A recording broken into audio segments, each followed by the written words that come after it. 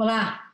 A Lei Maria da Penha completa nesse mês de agosto 14 anos e tornou-se praticamente sinônimo de combate à violência contra as mulheres. Mesmo assim, esse é um mal que ainda se mostra difícil de ser erradicado. Na palavra aberta que começa agora, eu converso com o deputado Capitão Alberto Neto, do Republicanos do Amazonas. Ele é autor de uma proposta que pode ajudar a reverter esse quadro. Deputado, seja bem-vindo ao Palavra Aberta. Deputado, eu vou pedir para o senhor explicar a sua proposta, o projeto de lei 3878 de 2020. Primeiro, eu queria contextualizar o momento que nós vivemos o nosso país ainda não conseguiu dar uma resposta, apesar do avanço através da Lei Maria da Penha, ainda não conseguiu dar uma resposta para proteger as nossas mulheres. Nosso país é o quinto país do mundo em número de feminicídio. 500 mulheres são agredidas por hora no nosso país. No ano, ano 2018 foram 16 milhões de agressões. Mulheres acima de 16 anos que foram agredidas.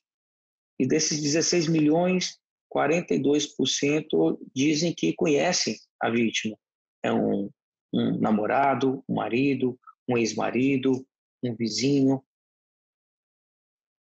Temos que entender esse contexto. Por que, que a, a, a, mulher sofre tanta agressão do seu cônjuge, né? dessa pessoa próxima, do namorado, do ex-marido, do marido, do ex-marido? é, pela minha experiência policial, é, até dois anos, dois anos atrás estava nas ruas da cidade e prendi vários agressores, convivi de perto esse drama, que no estado do Amazonas nós temos um programa de sucesso que é o Ronda Maria da Penha, que faz esse acompanhamento das mulheres que sofrem violência doméstica, das mulheres que têm medida protetiva.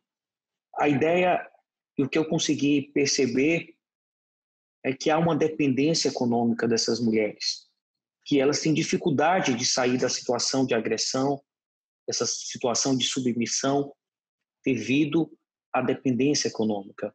Então, muitas vezes a mãe pensa, se sacrifica, se sacrifica pensando no filho, na filha, porque se sair, eles, os filhos podem passar por necessidades econômicas, e isso faz com que a mulher é, viva numa prisão uma prisão na sua própria casa. Então, para romper, né, para romper essa situação, nós temos que dar condições, incentivar essa mulher a ter a sua independência financeira.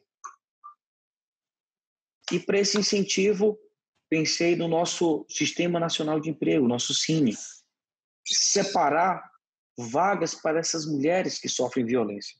Na verdade, são dois projetos um primeiro projeto no ano passado era é, fazer com que as mulheres tenham condições de é, vagas já limita, vagas já destinadas para o Senac, Senai, para que essas mulheres possam se aperfeiçoar, aprender uma profissão uhum. ou empreendedorismo. E o segundo é ter 10%, e a lei fala em ter 10% da nosso nosso cadastro nacional de emprego, nosso CINE. É uma medida que parece pequena. Oi, pode falar. Não, por favor, pode terminar seu, seu, seu raciocínio. É, é uma medida que é 10% apenas. Parece uma medida pequena, mas pode causar um efeito grandioso. Poderemos salvar muitas vidas.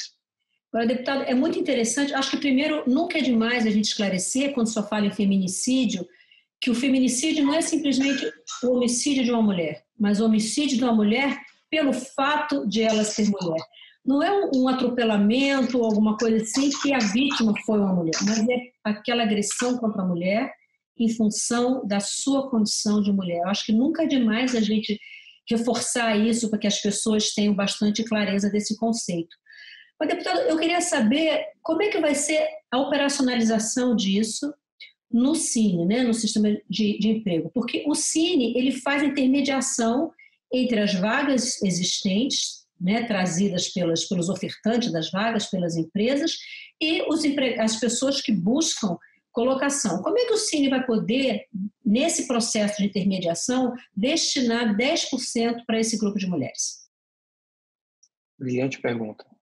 Primeiro, relembrando, existe um projeto anterior que é para o aperfeiçoamento do aprendizado de uma profissão para essas mulheres, no Senai, Senac, nos programas federais que nós temos, já que para elas também terem prioridade. Uhum. E a outra é o sim. É, é, lógico que quanto maior essa a, a qualificação dessa mulher, mais chance ela tem de conseguir o trabalho.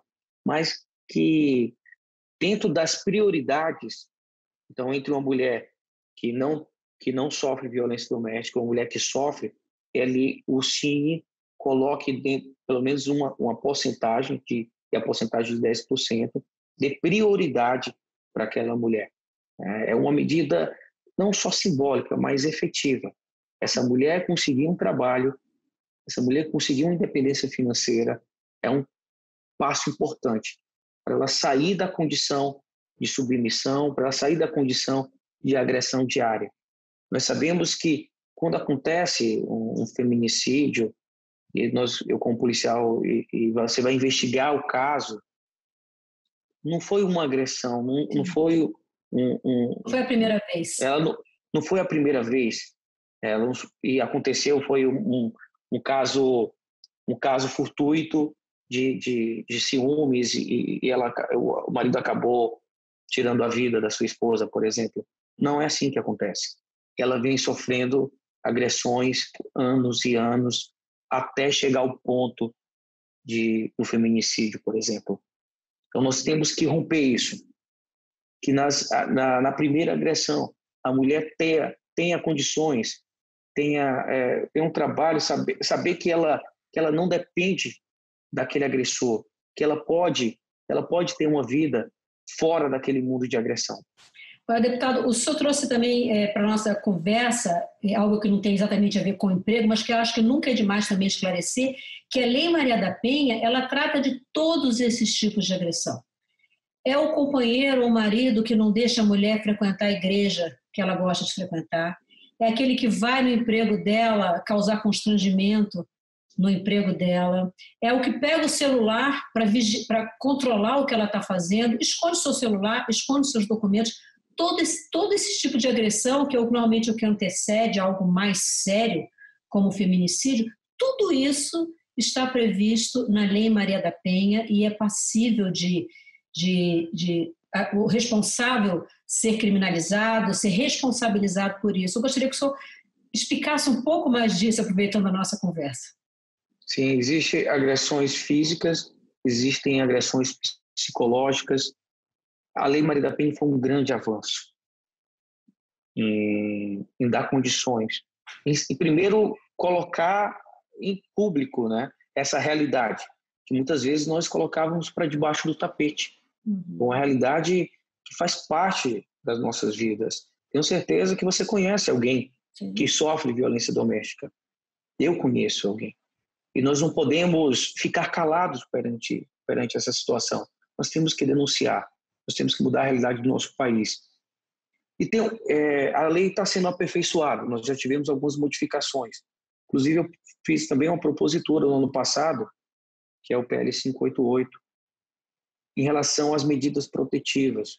Já teve um avanço que o delegado hoje pode, pode pedir uma medida protetiva, isso foi um grande avanço na nossa na, na lei. E a outra é que alguns programas querem vigiar a vítima.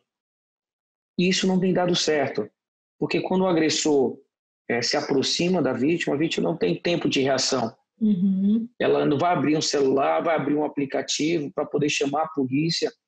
Isso não tem se mostrado eficiente. E um dos meus projetos é utilizar a que nós temos de tecnologia. Por exemplo, no semiaberto é utilizada a tornozeleira eletrônica. Então, nós precisamos de um dispositivo para colocar nos agressores, nos agressores quanto mais, que têm medida protetiva, que precisam ser monitorados. Então, a ideia é mudar o foco. A vítima não, não, é, não precisa ser vigiada. Quem precisa ser vigiado são os agressores. Então, o agressor, ou uma pulseira eletrônica, ou uma tornozeleira eletrônica, um dispositivo que, que, que já foi que é provado pelo, pelo justificativo da medida produtiva que ele é um perigo para, para a vítima.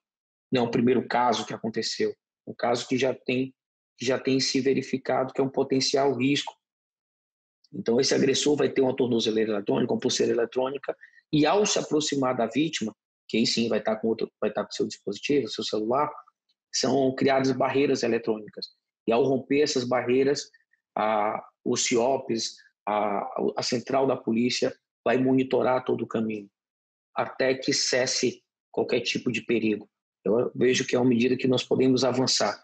Nós temos que dar uma resposta. O Brasil precisa sair dessa situação de ser o quinto país do mundo em número de feminicídio.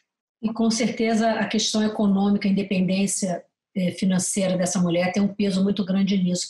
Deputado, o seu projeto foi apresentado recentemente, já existe algum acordo em torno da votação? Como é que está a tramitação dele? Já tenho recebido elogios e demandas de todo o país. Né? Maravilhado com essa proposta, por entender que, essa, que a dependência econômica é um fator é, importante para a mulher se manter nessa situação de agressão.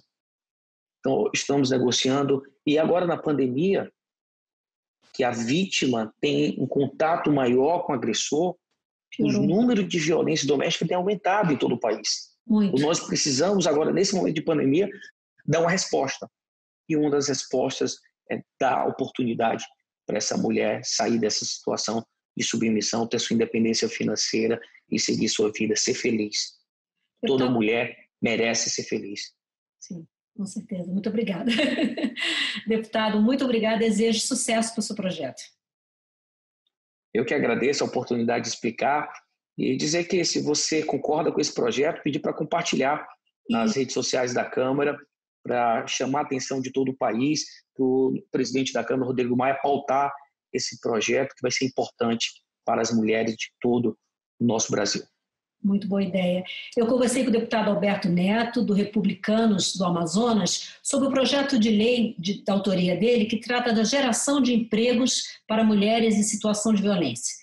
Se você quiser acompanhar o andamento desse projeto na Câmara dos Deputados, basta ir na página da Câmara na internet. No alto da página tem atividade legislativa, depois propostas legislativas, marcar PL de projeto de lei 3878-2020 cadastrar seu e-mail e toda a movimentação desse projeto na Câmara dos Deputados, você será notificado. Eu sou Maristela Santana e espero você numa próxima edição do Palavra Aberta. Até lá.